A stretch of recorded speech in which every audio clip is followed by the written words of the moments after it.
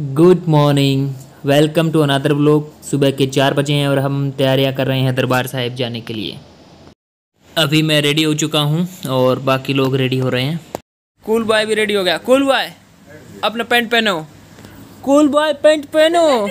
Pant पहनो। Cool boy pant ही नहीं पहन रहा है। पीके बना हुआ है। इधर देखो बेटा।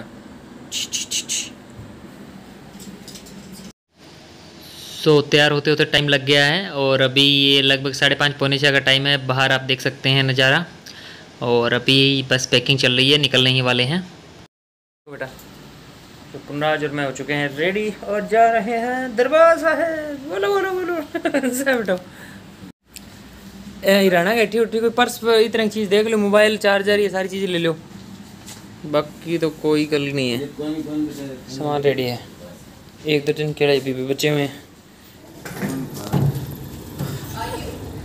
तो हमने जो हमारा सारा सामान था वो गाड़ी में पैक कर दिया है क्योंकि हम एक्सपेक्ट कर रहे हैं कि भीड़ ज़्यादा होगी तो मे बी चेकआउट करने का बाद में टाइम ना लगे।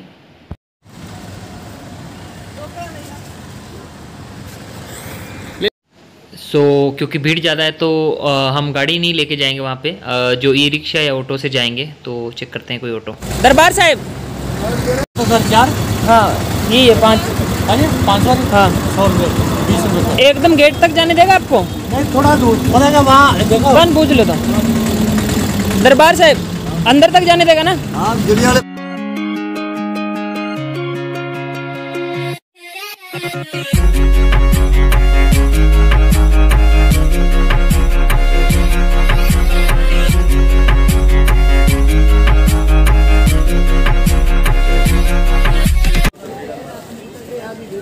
भीड़ घनी है हमें भीड़ बहुत है। ओ जलिया वाला बाग है। इधर का नाम देखो एक ही तरीके लिखोड़ा है सेम ही में अभी जा रहे हैं दरबार साहिब जलियावाला बाग से होते हुए और भीड़ देख सकते हो सुबह सुबह ई गली में द्वार गया आप जब पग आया नहीं। आप इतकर फिर याद है यार मार्केट आ मार्केट नहीं जब तो ती रात की सी भीड़ ही। रात क्या पाया ज़िंदा सुबह सुबह का ये मनमोहक दृश्य बहुत ही ज़बरदस्त लग रहा है। भीड़ हालाँकि बहुत ज़्यादा मात्रा में है। मैं यहाँ पे पाँच छः बार आ चुका हूँ। ये यहाँ पर शनिदेव का मंदिर है।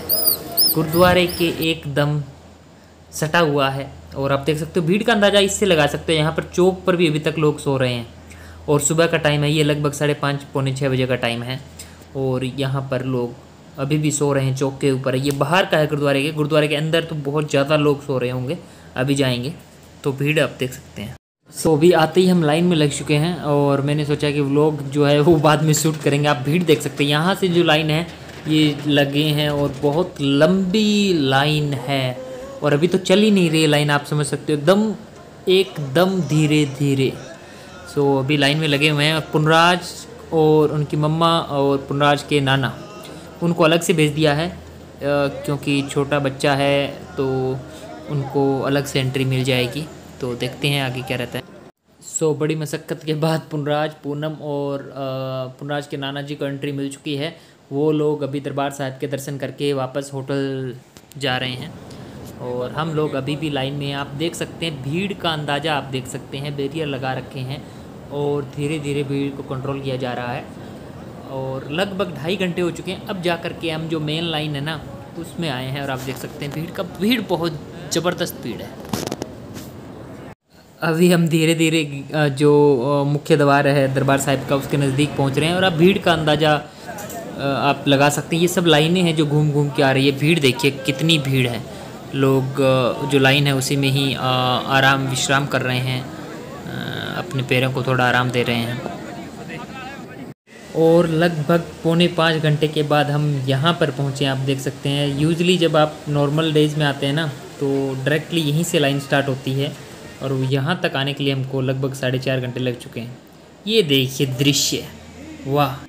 पाँच घंटे दर्शन करने के बाद लगभग हमको आधा घंटा लगा, लंगर में पहुँचने के लिए। और ये भीड़ देख सकते हो आप लंगर में भी बहुत ज़्यादा भीड़ थी। दरबार साहिब के दर्शन करके हम रवाना हो चुके हैं होटल के लिए जहाँ पर पूनम पुनराज और पुनराज के नाना जी वेट कर रहे हैं। सो so, अभी हमने होटल चेकआउट कर दिया है और अभी निकल रहे हैं। यहाँ से हम व्यास जाएँगे। So it's time to refuel again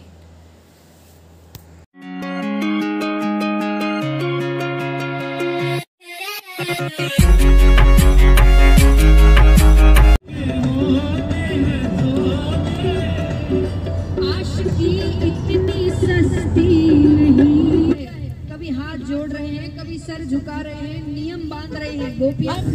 अभी आपको बाहर का जो दृश्य देख के अंदाज़ा हो गया कि हम पहुँच चुके हैं व्यास। एक अलग ही एनर्जी है यहाँ पे। और सफ़ाई देखिए आप। चाहे सड़कें हों, रेलवे स्टेशन हो, पार्किंग हो, इतनी ही ग्रीनरी है, इतनी ज़्यादा हरियाली है और इतनी ही सफ़ाई बहुत ज़बरदस्त। क्या बात है।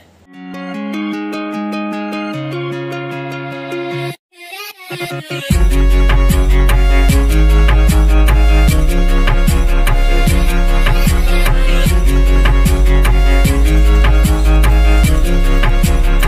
बड़ा है लोग। अजरे रहने की अजरे सहूलियत है करे आ चीज़ है। खाना पीना खानो पीनो है। सफ़ाई देखो नहीं करते बूंगो बाकी किला गलत बाबा ने किते पत्ता जी कहता ने पर दादर का पट्टा कौन पड़ा के? ये देखो व्यास नदी है और व्यास नदी के किनारे स्थित है। ये व्यास का जो आश्रम है। है आ जलंधर की मशहूर हवेली। बाहरी पार्किंग है। तो अभी हम व्यास से निकल चुके हैं और अब रास्ते में हम पहुँच चुके हैं जलंधर हवेली पे। सो जैसा आपने कल देखा था कि हमने जो डिनर था वो अमृतसर हवेली पे किया था। यहाँ पे हम पहुँचे हैं और यहाँ पे आप देख सकते हो बहुत ज़बरदस्त भीड़ है। सो अभी हम हॉल के अंदर गए और वहाँ पे इतनी ज़्यादा वेटिंग चल रही है ना। मैनेजर ने बताया कि मिनिमम एक घंटे का वेटिंग टाइम है।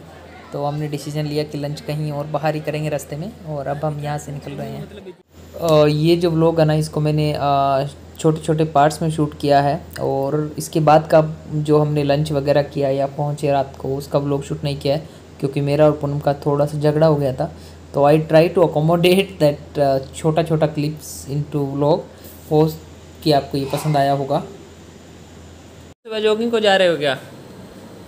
अरे, ऐसे नहीं करना है। क्या कर रहे हो? जॉगिंग को जा रहे हो? क्या कर रहे हो? आजा।